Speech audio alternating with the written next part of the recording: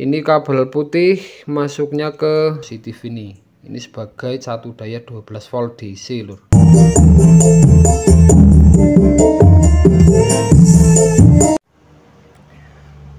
Oke lur, assalamualaikum warahmatullahi wabarakatuh. Jumpa lagi di channel ini, dulur. Video kali ini saya mau ini ya lur, e, mau memberi tutorial cara pemasangan tiga perangkat ya lur. Di sini ada IC Galaxy, Gigabus, sama tune control stereo.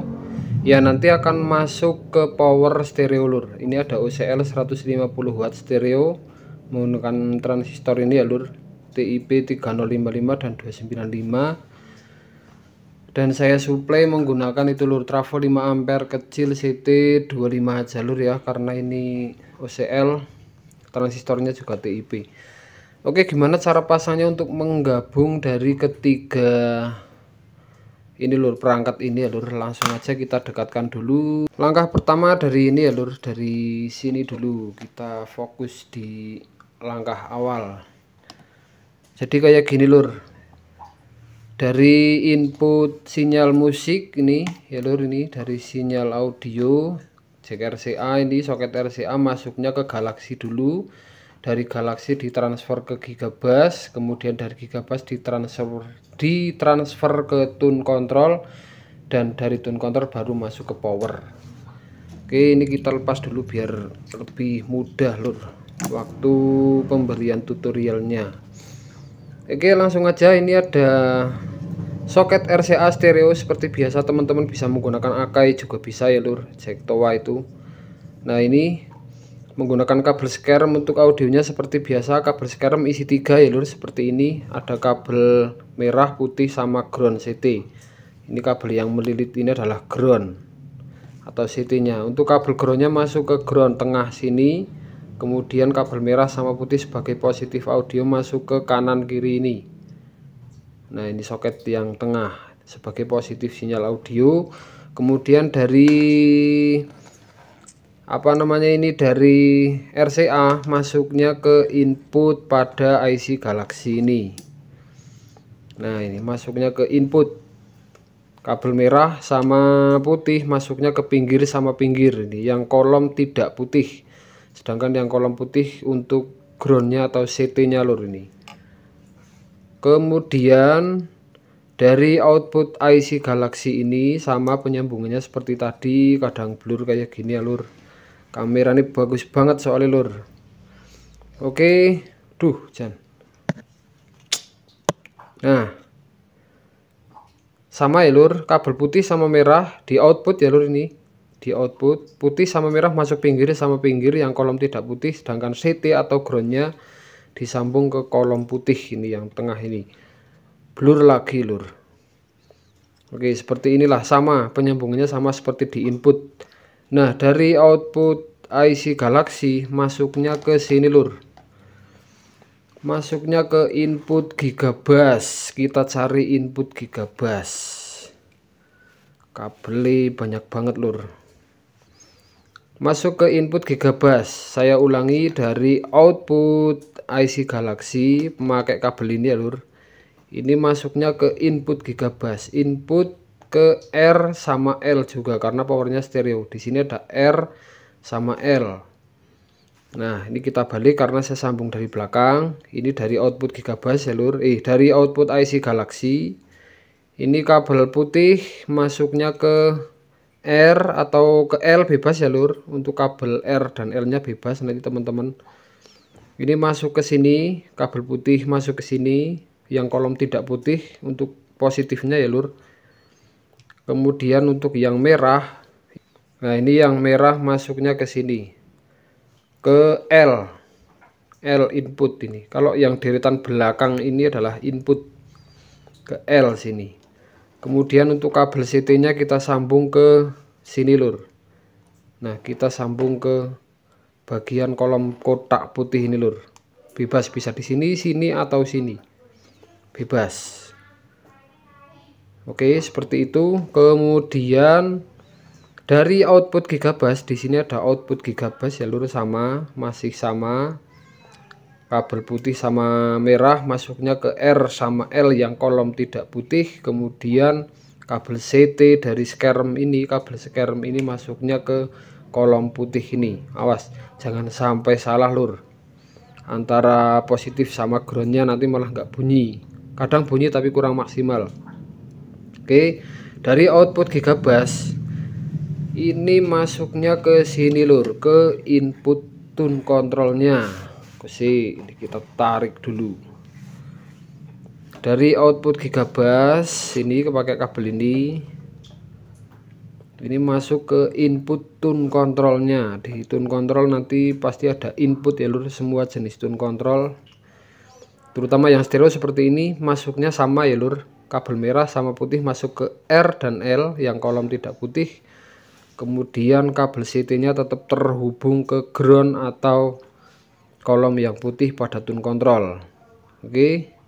Kemudian dari output tune kontrol ini sama masih tetap menggunakan kabel skerm seperti ini ya lur.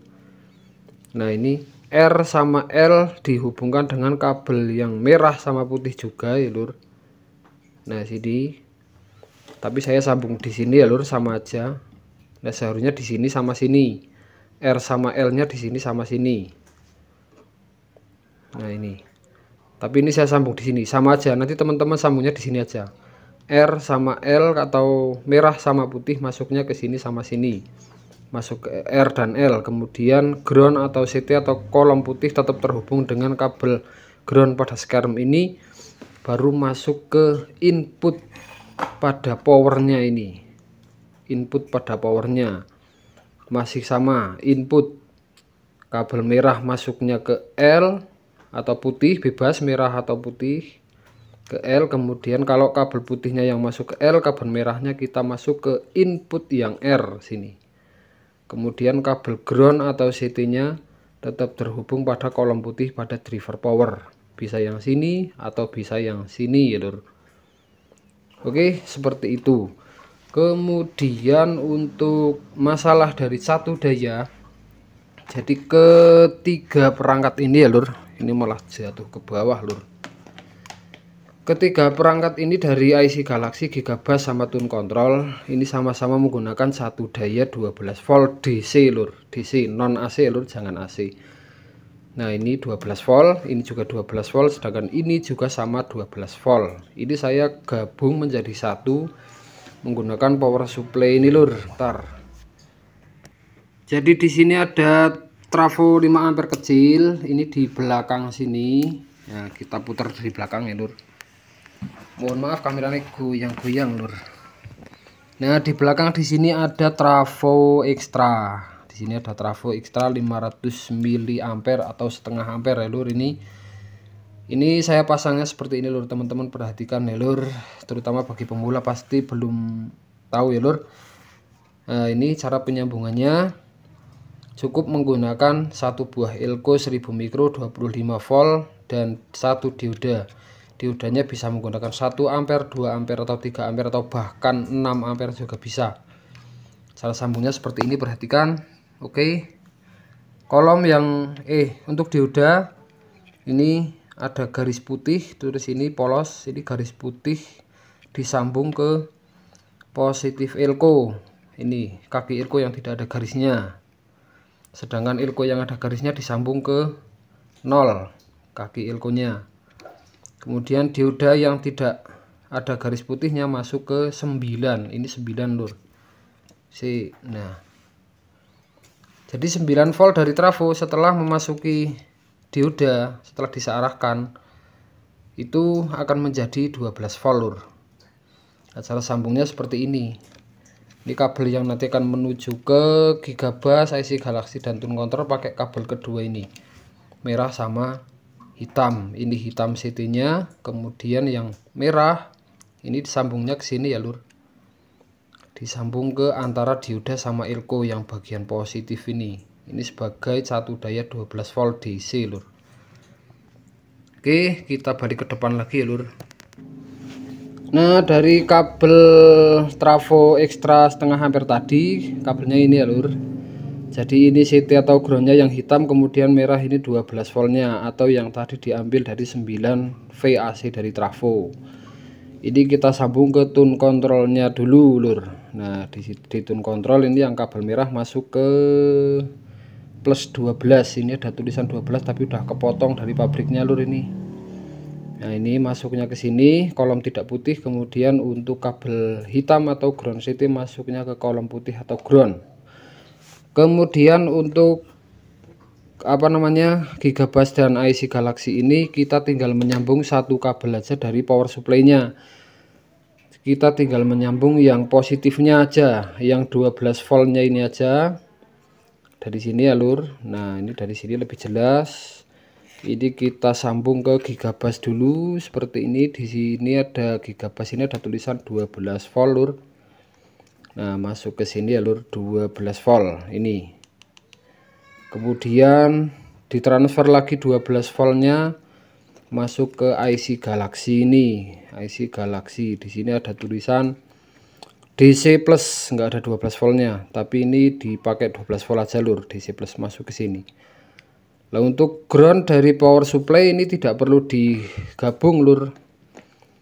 Dari tune control menuju gigabus dan galaksinya ini tidak perlu dipakai ini untuk ground dari power supply-nya karena untuk groundnya sudah otomatis terhubung melewati jalur audio atau kabel skerm ini kabel skerm dari input menuju ke gigabus ini dia sudah memakai kabel skerm yang melilit ini alur atau kabel CT-nya itu sama aja. Dari sini ke sini dari output gigabus masuk ke tune control juga sudah memakai CT, dari output tune control masuk ke power juga sudah memakai CT melewati kabel skerm ini. Jadi tidak perlu kita menggunakan eh, kabel hitam atau kabel CT dari power supply 12 volt terlalu banyak. Malah nanti akan menimbulkan dengung. Itu yang namanya apa apa ilur namanya itu ground satu arah seperti itu. Kita tidak usah menggunakan beberapa banyak grounding. Oke seperti itu kita langsung tes saja kita rapikan dulu. Untuk pengetesan ini saya menggunakan ini alur media MP3 player seperti biasa. Media MP3 player melewati kabel ini alur nanti kita sambung ke RCA kita sambung dulu lur ini. RCA menuju IC galaksinya kita sambung. Untuk MP3 playernya udah nyala ya lur itu. Oke udah nyala terus cek soundnya ini menggunakan dua speaker lur yang satu 10 in CLA kemudian itu middlenya pakai 6 in plus treble. Karena ini power stereo. Oke kita coba on kan si powernya dulu ya lur. Udah nyala kemudian kita pakai bluetooth ya lur. Karena menuju itu ini bluetoothnya sudah terhubung kita coba play musik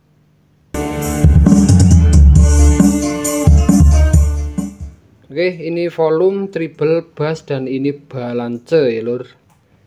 Ini kita off kan dulu untuk galaksinya dan gigabasnya off kan dulu. Kita coba putar tune kontrolnya ini volume.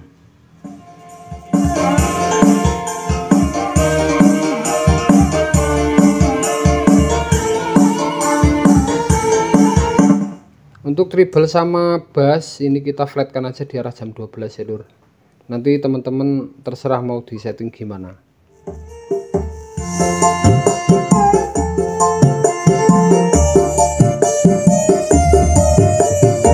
Kita angkat potensio gigabus teman-teman nanti pakai headset ya lur supaya lebih detail suaranya terutama di bassnya.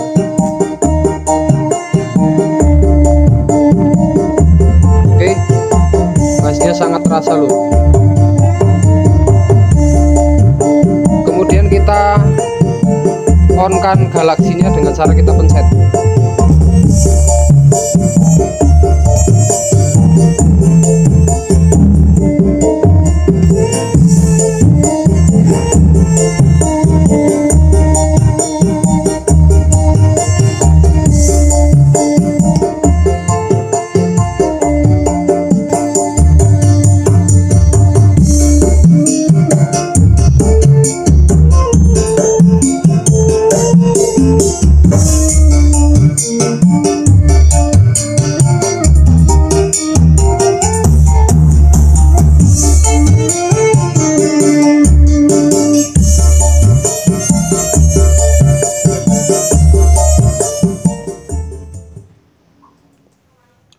jadi seperti itu. Kalau volume tune control kita matikan maka tidak akan ada yang fungsi ya, Lur. Kita coba angkat lagi.